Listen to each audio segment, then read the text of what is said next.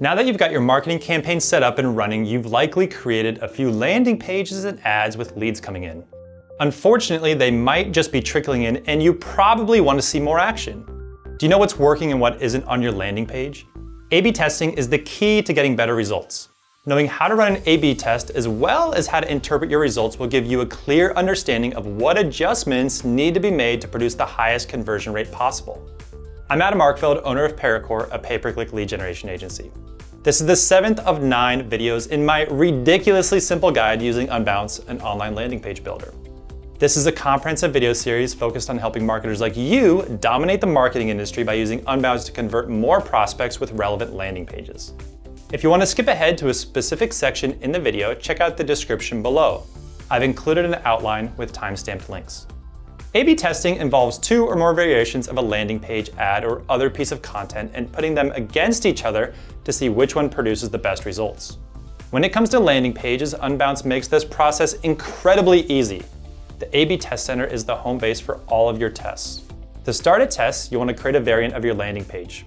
Be sure to simply create a variant of your landing page instead of creating an entirely new landing page. If you create an entirely new landing page, you won't actually be able to run an A-B test because that can only be done using variants. Once you create your first variant, you can jump right in and start editing. The variant will be an exact copy of your original page to give you a good foundation for your changes. Start with basic level changes. For example, you can change the headline or main photo. You can also try making your lead gen form shorter or asking for less information. Or give your lead form a more prominent position higher up in the page or on the opposite side of the page. You can also try using less text on the overall page, maybe replacing a paragraph with bullet points, and so on. The options are endless. As a helpful pro tip, create a calendar with a plan of the tests you intend to run. Since so many things can be tested, a calendar will keep you organized and ensure you don't run tests all willy-nilly and lose track of your progress. Once you've duplicated your page and made your changes, you need to assign traffic to the variant. This allows you to weigh which page gets more traffic. By default, we choose 50% for each variant so both pages receive an equal amount of visitors. Next, republish your landing page to start the test and track the performance between the two variants. So how do you track the performance? Well, I'm glad you asked.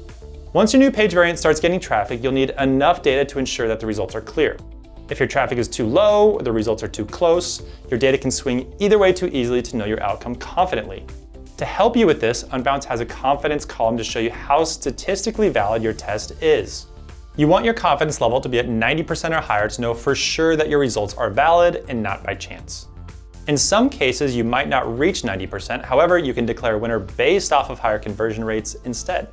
The confidence level is there to validate the statistical significance of your results and to let you know without a doubt that the changes in your variant are the true reason you saw more conversions.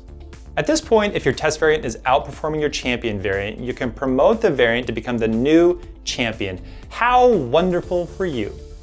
If the challenger is underperforming, you can discard the variant and keep your old champion. This archives the page but keeps all data intact.